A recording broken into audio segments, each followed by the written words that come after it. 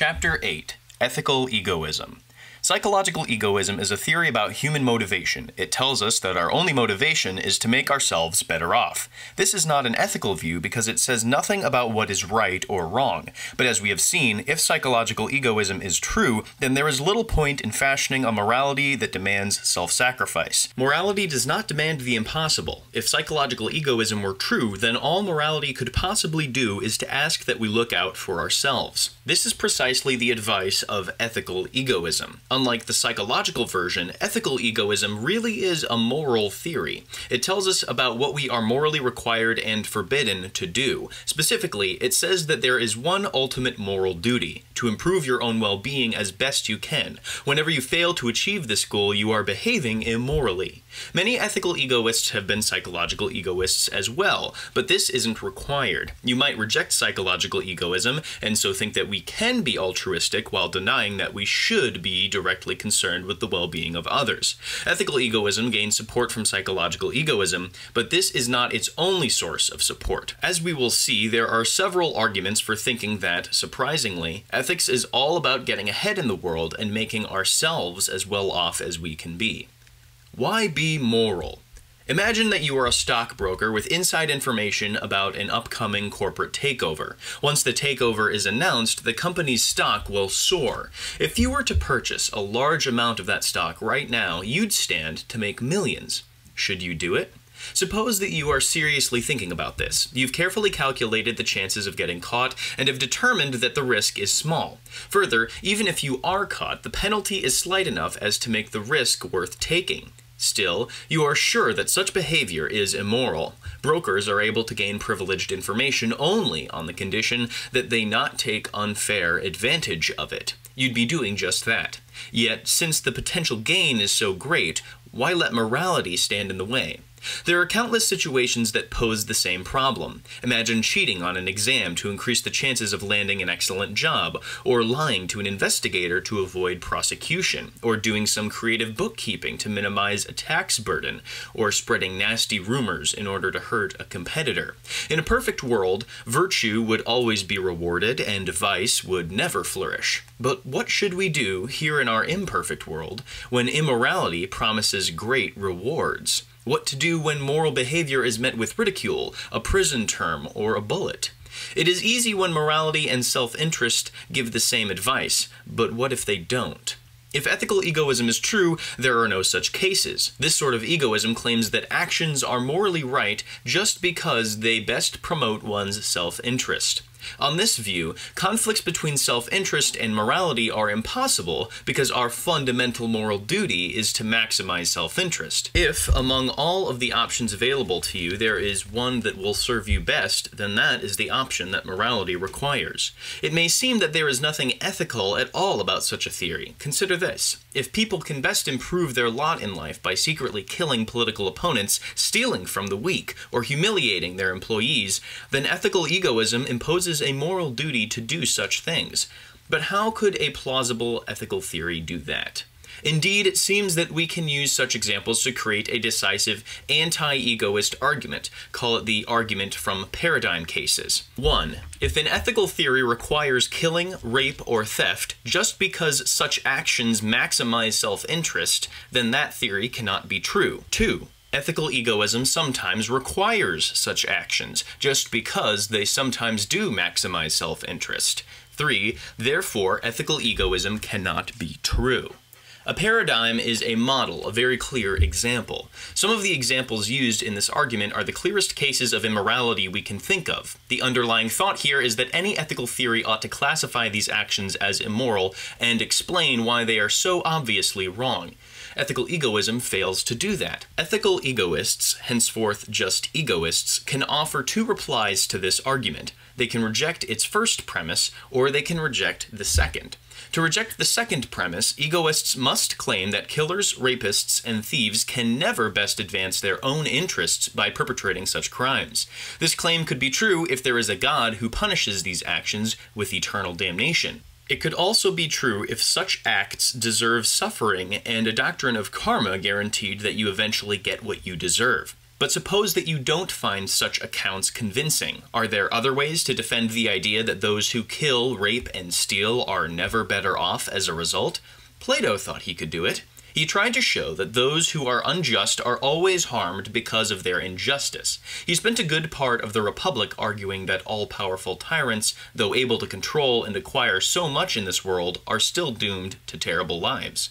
Even as they tell themselves how much fun they are having, they are inwardly miserable, constantly fearful and insecure, leading lives filled with anxiety and suspicion. Once we see what an immoral life is really like, we will realize that we are far better off being moral. Plato's argument depends heavily on his claims about the inner lives of immoral people. I think it fair to say that his case is not fully persuasive. Certainly, many immoral people are deeply troubled and unhappy, but others are able to sleep well at night, take pride in a job well done, assassination, theft, betrayal, and find friends within a network of like minded associates. The bad guys sometimes get away with it, have a lot of fun in the meantime, and never regret the harm they have caused. Much more, of course, needs to be said about what is truly beneficial for us. Chapters 1 through 4 covered these issues, but they are hardly the final word on the matter. And since we don't have space here to discuss religious views of the afterlife, we have to admit that the jury is still out on the truth of premise 2. Perhaps it is false. Perhaps there is some very powerful argument that can show that wrongdoing will never maximize the self interest of anyone. If that argument can be given, then we can strike down premise 2. And that, of course, would be great news for the egoist, since the fall of premise 2 would spell the defeat of the entire argument from paradigm cases. But let's assume for the moment that premise 2 is true, and that, as it seems, some immoral actions really do best promote the interests of those who commit them. If that is so, then egoists must take aim at premise 1 of the argument. And that, in fact, is precisely what they will do. Suppose that we will not always do best for ourselves by following the familiar laundry list of moral rules. Then conventional morality and self-interest will sometimes clash. When that is so, the egoist is forced to reject conventional morality. And since the first premise of the argument is just an expression of conventional morality, the argument begs the question against the egoist. Think about it this way. Only those who already dislike egoism would accept the first premise. Premise 1 is not a neutral claim. Rather, it assumes that egoism is mistaken. It assumes, specifically, that self-interest cannot morally justify actions such as rape and theft. True, such actions do seem to be paradigm cases of immorality, and so any moral theory that encouraged such actions would be suspect, but an egoist who accepts premise 2 will claim that our paradigms are mistaken and they might be. We can't absolutely rule out such a possibility. Still, we can recall Aristotle's advice recorded at the end of the previous chapter. We have reason to stick with the appearances and to take things at face value until we are given excellent reason for doubt.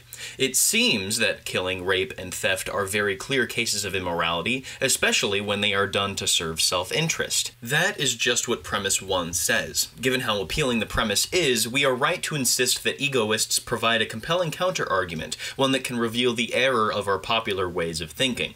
Let's now consider two prominent attempts to do just that. Two popular arguments for ethical egoism.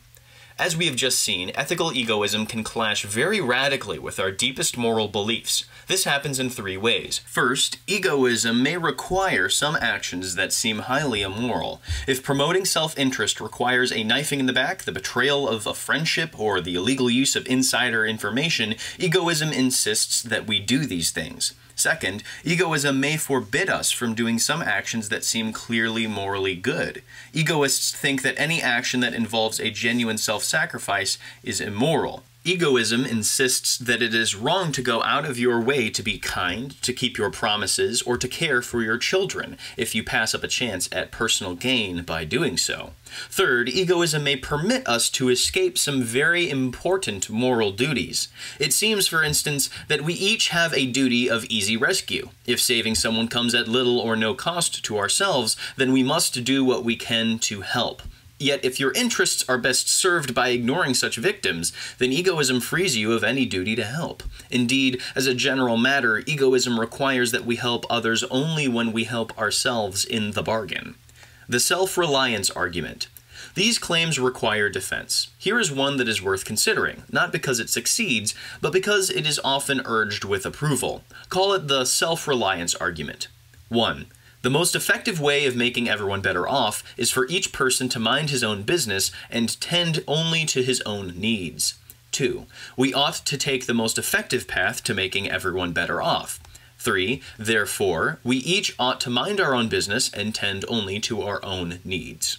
There are two problems with this argument. Its first premise is false, and its second premise is one that egoists cannot accept. The first premise is false because those who are in need of help would not be better off if others were to neglect them. If you are suffering a heart attack and I know CPR and am the only one able to help, then you are definitely worse off, not better, if I decide to leave you alone and go on my way.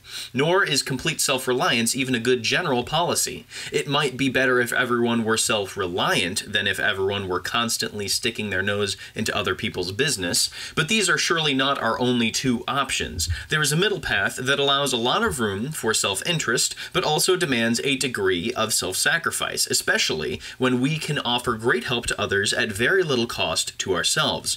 Everyone would be better off if people helped others to some extent, rather than if people offered help only when doing so served self interest. Further, the argument's emphasis in premise 2 on our doing what will improve everyone's well being is not something that the egoist can accept. For ethical egoists, the ultimate moral duty is to maximize personal benefit. There is no moral requirement to make everyone better off. The egoist allows people to help others, or to have a care for the general good, but only when doing so will maximize their own self interest, and not otherwise. The libertarian argument. There is another popular argument for severely limiting our duties to others. Call this the libertarian argument. Libertarians claim that our moral duties to help other people have only two sources consent and reparation. In other words, any duty to aid another person stems either from our voluntary agreeing to accept that duty, i.e., our consent, or from our having violated someone's rights and so owing a duty to repair the wrong we have done. But if I do not consent to help other people and have done them no wrong, then I have no duty to help them. This is a fascinating argument. There is little controversy that our duties can originate as the libertarian suggests. The real question is whether there are sources of duties other than consent and reparation. In the example of offering easy rescue, for instance, it seems that the victim's needs, together with my ability to help at little cost, are enough to generate a duty that I help. Consent did not enter the picture. I was morally required to help, even if I didn't agree to do so. And I had done the victim no wrong, so reparation was not an issue. The libertarian will deny that someone else's needs, plus one's own ability to help, are enough to generate a moral duty of offering assistance. After all, if I need $10,000 for knee surgery and you are a millionaire who could easily afford to pay for it, you are not automatically required to hand me the money. There is a lot one might say about the libertarian argument. Indeed, I think that it poses one of the most fundamental challenges in political philosophy. Yet we can avoid a look into its details because even if the argument is sound, it cannot support ethical egoism. The basic explanation for this is that egoists cannot accept the argument's central claim. Egoists deny that there are two ultimate sources of moral duty consent and reparation. In fact, egoists deny that either of these is a source source of moral duty. For them, self interest is the only source of our moral duties. We must fulfill our voluntary agreements or repair the damage we've done only when doing so is in our best interest. When it is not, we have no moral duty. The libertarian argument tells us, for instance, that if we promise to volunteer at a local hospital or consent to the details of a home sale, then we should follow through. However, if doing so fails to make us better off, then egoism says that we have no duty to stick to our agreements. Indeed, egoism forbids us from holding up our end of the deal. Libertarians would require that we keep our word. Since egoism and libertarianism often give such conflicting advice, egoism cannot gain support from libertarianism. The best argument for ethical egoism. Despite their popularity, the self reliance and libertarian arguments fail to support ethical egoism. To locate a stronger foundation for the view, I think that we need to focus on one of the perennial questions in ethics and see how the egoist can answer it. It is here that egoism finds its strongest support. The perennial question is the one we began with Why be moral? Ethical egoism has a watertight answer to this question.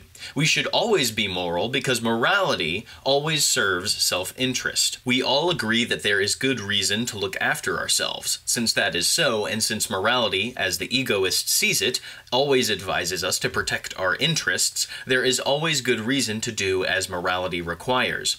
We can mold this line of thought into a very powerful argument. Call this the best argument for ethical egoism. It starts with the common thought that every moral duty provides an excellent reason to obey it, and it then says that we have reason to do things only if there is something in it for us. It would be irrational, for instance, to sacrifice your own well being if you got nothing in return for such sacrifice. When you put these two thoughts together, you arrive at the conclusion that whenever we are morally required to do something, doing it must promote self interest. This is just what ethical egoists believe. Here's the argument in a nutshell 1. If you are morally required to do something, then you have good reason to do it. 2.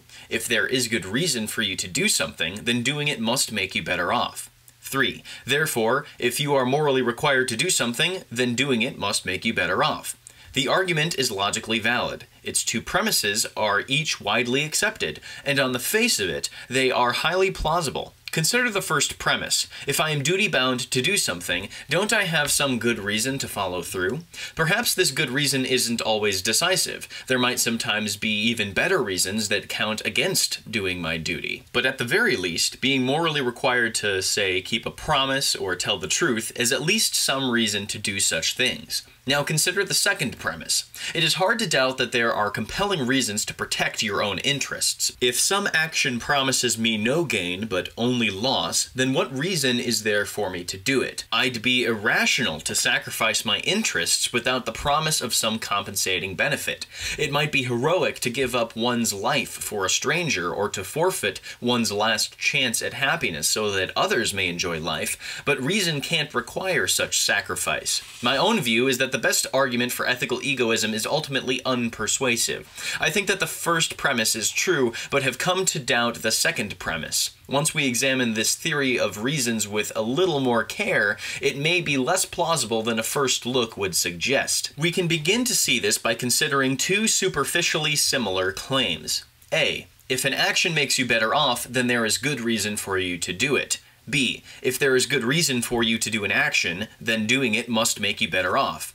Claim A looks pretty good. It tells us that self-interest is always a good reason for doing something. It doesn't say that this is the only reason for acting, and it doesn't say that it is always the best reason. Though A is an extremely attractive claim, it is difficult to explain its plausibility. It seems to me just one of those rock-bottom assumptions we make about the kinds of reasons we have. If someone were to deny it, for instance, it isn't clear what we could say on its behalf. That doesn't show it to be implausible, not everything can be explained. It may be that A is more basic than any other claim we might use to defend it. This isn't the case for B, which should look familiar. It is the same claim as the best argument's premise 2, and it seems that there are many counterexamples to it.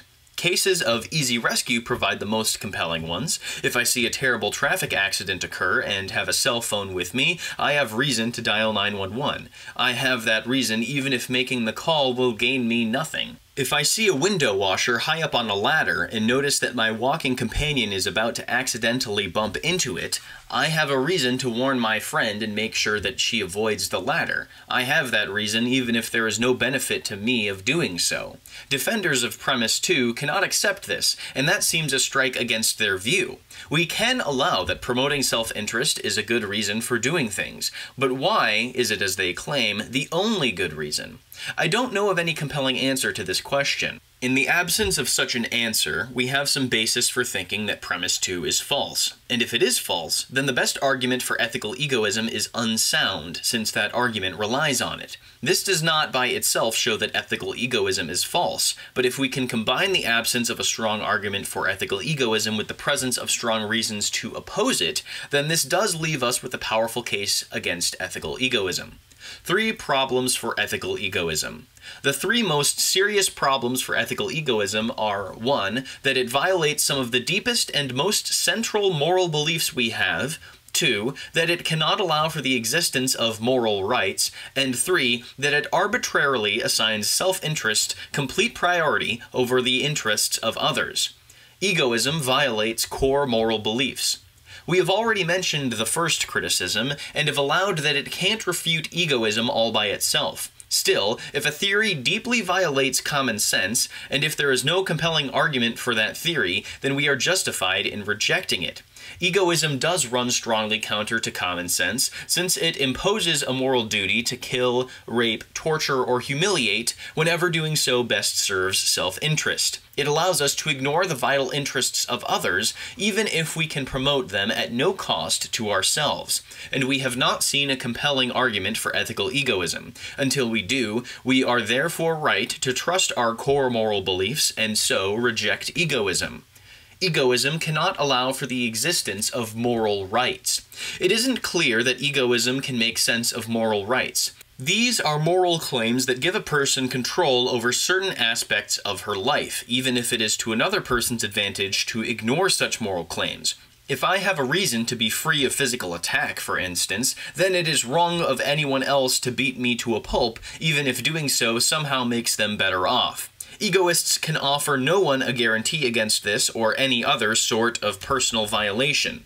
Suppose that it is in your best interest to kill me, or to deny me freedom of speech, or to take what I own. If egoism is true, then you are morally permitted, indeed morally required, to do these things. And if you are morally allowed to do them, then it is hard to see how I could have a right that you not do such things. My right to life, or to free speech, is worthless if other people are allowed to kill me or shut me up whenever it serves their interests in doing so. Egoists can reply that they grant each person the right to pursue self-interest. This is true, in a way, but not in a way that offers us any protection. To see this, consider two things we might mean when we say that everyone has a right to pursue self-interest. A. All people are allowed to pursue self-interest. B. Each person is entitled to a certain amount of freedom from hostile behavior by others, and this means that everyone else has a duty not to interfere with a person's pursuit of self-interest. Egoists accept A, they can't accept B. Yet B is the only version that offers us protection against the actions of others. To see this, imagine a plot device that became familiar to me as a child. A surprising number of 1970s TV episodes imagined a warped villain who had some hapless victim at his mercy. The villain says to him, You are perfectly free to run. I'm not stopping you, so run. The victim is allowed to run. In this sense, he has a right to flee, but there is a catch. The villain is also allowed to hunt his victim and kill him if he can. The victim's right to run is basically worthless in such a situation. It offers him no protection at all. Now, back in the real world, suppose, as is often true, that your self-interest conflicts with mine. If egoism is true, then I have a duty to harm you, since that will benefit me. And you have a duty to harm me for the same reason. Even though we are each allowed to pursue our self-interest, egoism can't forbid other people from harming us if it is in their interest to do so. It grants us a right of the sort described in A, but that offers us no moral protection against interference from others. And such interference can be very terrible. It can even amount to killing, if killing is what would maximize someone else's interests. If egoism is correct, then our basic moral duty is to make ourselves as well off as possible. We may have to hurt others in order to fulfill that duty, and that means that morality will not protect them from such harm, nor will it protect us if the tables are turned. So the best that egoism can do here is to tell us that we are each free to pursue self-interest. It cannot offer us the sort of moral rights we really want, those that protect us from harm and from unwanted interference by others. Egoism arbitrarily makes my interests all important. Now we arrive at the deepest threat to ethical egoism. This theory tells us that we should give complete priority to the interests of a single person, oneself, over the interests of everyone else. If that were really so, then there would have to be some relevant difference that could justify this different treatment. But what could that be? My basic needs for food, shelter, physical security, good health, and so on are shared by nearly every human being. I am unique, of course, but then so is everyone else. I have my special talents, but again, so does everyone else. Ethical egoists need to explain why we are allowed to entirely discount the basic needs of others, even though these needs may be identical to our own. I think that egoists can, in fact, make a partial reply here. Suppose that my leg has been wounded in a hunting accident. I can still drive to the hospital and get it cared for. I know that doing so is going to cost me almost all of the money I have. Once I arrive at the hospital, I see another victim of a hunting accident with an injury very like my own. He is obviously poor, needs the surgery as badly as I do, but lacks the money to pay for it. Most of us agree that it would be acceptable if I used my money to pay for my own surgery rather than forego it and pay for his. But why? To make the case harder, assume that this other accident victim is as nice a guy as I am, is just as smart and community minded as I am, and so on. Still, I am allowed to give myself preferential treatment here. Our cases appear alike, and yet common sense allows me to give myself priority over another person who is my equal in every relevant respect. Perhaps common sense is just mistaken in allowing people to give some priority to their own needs over those of others. If it is, then ethical egoism is certainly false, but suppose that common sense has it right, so that in the hunting example, for instance, I am allowed to spend the money on myself rather than on a stranger. If so, then morality does grant individuals some extra consideration when determining their own fate. When things are equal, we are allowed to tip the scales in our favor. I do not know how to explain this. Like the claim that we have some reason to promote self-interest, this principle seems to be a basic axiom of any plausible ethical view. Yet even if we accept that people are morally allowed to give themselves some priority, that does not mean that they are allowed to give themselves complete priority over others. Ethical egoism claims that the interests of others considered in themselves count for nothing. We are to treat our interests as the only thing of importance. Ethical egoism tells us that even when the stakes are very high for others and very small for ourselves, we are entitled to ignore the needs, wants, and interests of those who are our equals in all relevant ways. Egoism completely denies the moral importance of other people or other things, such as the environment, except insofar as they can help us to benefit ourselves. That is a kind of deep bias that requires substantial defense. It isn't clear what that defense would be.